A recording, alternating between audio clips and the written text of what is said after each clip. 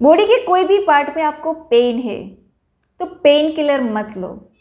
उनके लिए नेचुरोपैथी की ये हाइड्रोथेरापी करो। ये बेस्ट नेचुरल पेन किलर है। कहीं पे भी आपको सूजन है और सूजन की वजह से पेन हो रहा है तो बर्फ़ से मसाज कीजिए, या तो ठंडे पानी से सिकाई कीजिए। अगर सूजन नहीं है और फिर भी पेन हो रहा है तो वहाँ पे गर्म सिकाई कीजिए। याद रखो, सूजन वाली जगह पे ठंडी सिकाई करनी है, सूजन के बिना कोई पेन हो रहा है तो वहाँ पे गर्म सिकाई करनी है। ये खास ध्यान रखो।